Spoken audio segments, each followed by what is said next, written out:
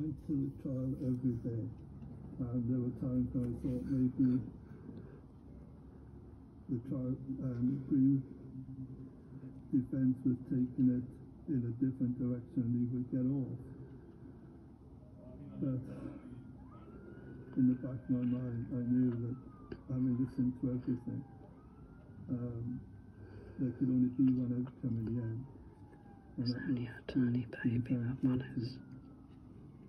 Not surprisingly, he was found guilty, and the judge sentenced him to life with a minimum term of 25 years. They are a delight to watch. Look. See the baby being dominant. He didn't admit the crime. He didn't talk about anything. There's no crime, he said.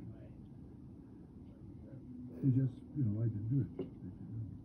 Like he said to his girlfriend, he opened his arms like that, he said, I didn't do it, Susan. I didn't do it. Did I That's know? the I two. I know.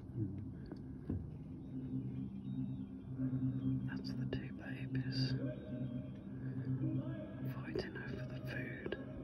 Despite Here's the older ones now. acted out the end of the trial, there was no escaping the fact See that small was now a convicted double murderer.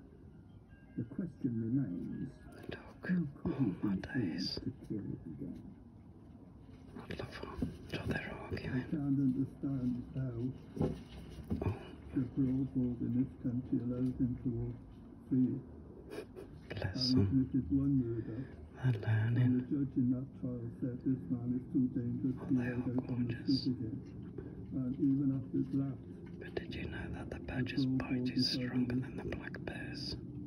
This man was safe to be let out on the street. And yet they're so timid. Um, unfortunately, those who Very sit on the timid. parole board don't have to answer to anyone.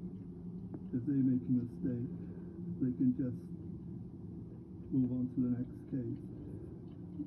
Sadly, for people like Clive, They are abusing. um, they pay the consequences of their mistakes. The family found it quite hard to take at the time, um, especially Clive's mother, because um, some years previously in New Zealand, someone who was in prison for rape, I believe it was, um, warned the, the powers that be over there that if ever he was let out, he would probably kill. And um, That's the baby. he wouldn't be safe on the street. As it happened, he was allowed out. And my aunt, Clive's mother, her mother, was then raped and killed. She was in her 80s at the time, which was must have been devastating for her and the whole family. So then to lose Clive on top of that was absolutely horrendous. I was told afterwards that the chances of this man ever being released from jail again would be zero. But again, in the back of my mind, I've got a fear that sometime or other, maybe when he gets too old and frail, some idiot sitting on a parole board will say this man is now safe to be let Are they out going and back home? put into a, some kind of um, nursing home somewhere to be looked after for the rest of Their his life. den's beyond the fence. And Somewhere there's a massive field behind. I feel, like like I said, I feel as if there's so much evil in this man, he could even commit another murder, even if he is old and frail and decrepit. Because this, I think there's so much evil in this guy. Had a future. He had the world in front of him, and that was taken away from him. He should now be in the prime of his life. He should be married. He should have children and he should be living a happy, wonderful life.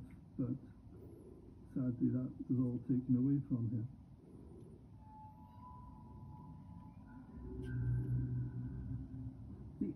Conclusion that you can come to about Malcolm Green is that this former abattoir worker had developed a taste for blood and gore and killing.